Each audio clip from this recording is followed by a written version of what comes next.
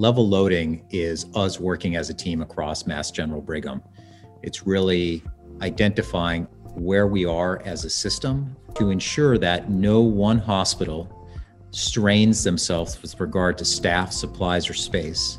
And as each of us surge, we ensure that we can help each other to ensure that each patient throughout our system gets and receives the same high quality, safe care throughout this pandemic.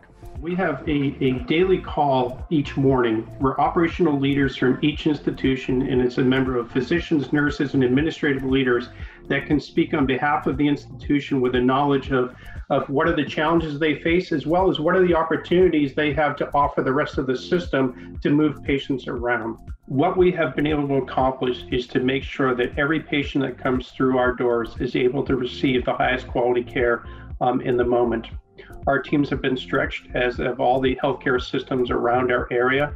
Um, and when we have been stretched, we've also worked not just across our system, but across the region to establish lines of collaboration. We have a lot of strengths across the system to care for our patients. Uh, our goal is to get them to the right place at the right time with the right team. And that's really the focus of level loading. We have definitely learned that there's a lot of collaboration that can and should be established across our system as we move forward.